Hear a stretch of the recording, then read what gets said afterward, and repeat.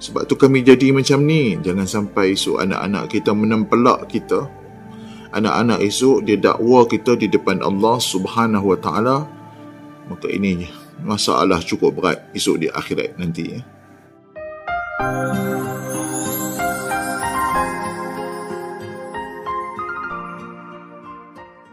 Anak-anak adalah amanah Allah Ta'ala dekat kita.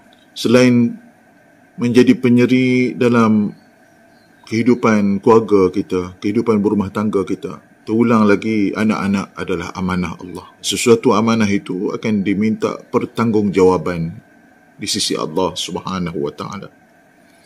Satu-satu amanah itu akan ditanya oleh Allah Subhanahu wa taala. Jadi kita sebagai ayah ibu satu-satu amanah itu kita akan mas'ul kata Nabi kita akan ditanya diambil pertanggungjawaban di hari akhirat nanti kullukum mas'ulun kullukum wa kullukum mas'ulun an ra'iyati sabda Nabi SAW setiap kalian pemimpin setiap pemimpin akan ditanya tentang apa yang dipimpinnya anak-anak itu adalah orang-orang yang di bawah pimpinan kita dan mereka adalah amanah Allah Ta'ala kepada kita.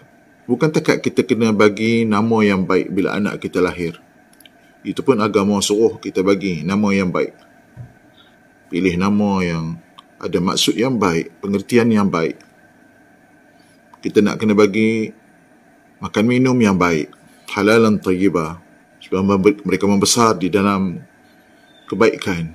Kita nak kenal pasti kawan-kawan yang baik sebab seseorang itu terkesan terpengaruh dengan kawan dia. Nabi sebut dalam hadis al-mar'u ala dini khalilihi. Seseorang di atas agama kawan dia dan seseorang hendaklah melihat menilai siapa kawan dia. Bagi seorang ayah penting dia menilai dan melihat siapa kawan anak-anak dia. Namun untuk lebih besar daripada itu tanggungjawab bagi seorang ayah ni ya atas amanah Allah Taala ni amanah anak-anak ni kita nak bagi pendidikan yang baik. Didikan adab yang baik. Kita nak kena bagi didikan agama. Barulah manusia akan jadi baik. Dalam konteks tadi, anak-anak baru jadi baik ya, dengan adanya didikan agama. Imam Sufyan As-Sawri rahimahullah ta'ala dia kata dalam hal ini maka seorang bapa, seorang ayah hendaklah memaksa ataupun kita kata dia kena serius tegas ya supaya anak-anak dia dapat belajar agama. Dia kena ambil penting perkara ini anak-anak belajar agama, anak-anak jadi orang yang faham agama dan langsung anak-anak dapat menjadi orang-orang yang beragama dan erti kata menghayati agama Allah. Kerana seorang bapa, seorang ayah akan diambil pertanggungjawaban itu di, di sisi Allah di hari akhirat nanti. Anak kita tak tahu agama dengan sebab kita tak ajar dia, kita tak suruh dia belajar, kita tak arah dia belajar, kita tak sampaikan kat dia, isu masalah dekat kita sebagai ayah-ayah ni. Ayah dulu, walaupun sekolah dia ada PIBG, letak nama ibu dulu, tapi nak beritahu ayah, ayah dulu, bapa yang akan ditanya oleh Allah Ta'ala. Berat tanggungjawab ini, berat. Ya. Jangan sampai esok anak-anak kita di akhirat dia dakwa kita di depan Allah.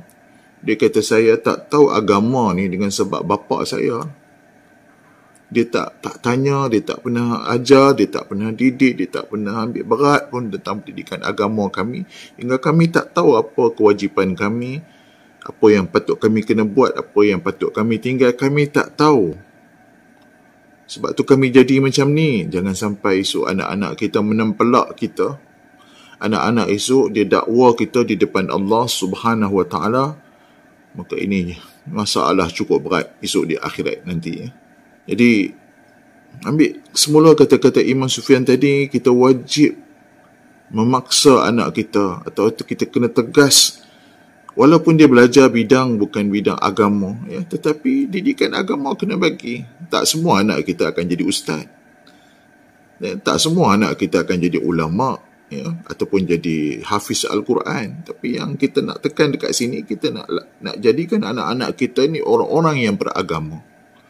Orang yang hidup mati dia kerana Allah Subhanahu wa taala. Orang-orang yang mana hidupnya disuluh oleh agama dan untuk hal itu maka perlu adanya didikan agama. Kena ada ilmu agama untuk meluruskan perjalanan kita sampailah kita bertemu dengan Allah Subhanahu Wa Taala. Lepas kita didik, lepas kita suruh, lepas kita ajak, lepas kita programkan untuk mengaji agama, anak-anak tak ambil pesan kita, tak ambil peduli dengan apa yang kita buat untuk dia jadi orang yang beragama, maka barulah kita tak akan ditanya oleh Allah SWT. Kita buat dulu, kita ajak, kita sampaikan dalam apa cara sekalipun. Dan kita sendiri selain daripada mungkin guru-guru yang lain ya, maka kita sendiri pertama yang akan ditanya. Ya. Kemudian kita mengharap kepada para asatizah, para guru-guru mendidik, menyampaikan ilmu agama kepada anak-anak kita. Tapi kita dulu, kita mula dulu sebagai ayah. Ya, sebagai ayah, sebagai bapa, kita adalah mas'ul di hadapan Allah esok. Semoga Allah permudahkan urusan kita. Allah bantu kita untuk kita mendidik ahli keluarga kita. Untuk menjadi orang-orang yang beragama, dan letih kata orang yang faham agama. Orang yang hidup beragama dan menghayati agama dalam kehidupan dia, dia mati dalam keadaan dia beragama. Mudah-mudahan Allah permudahkan kita.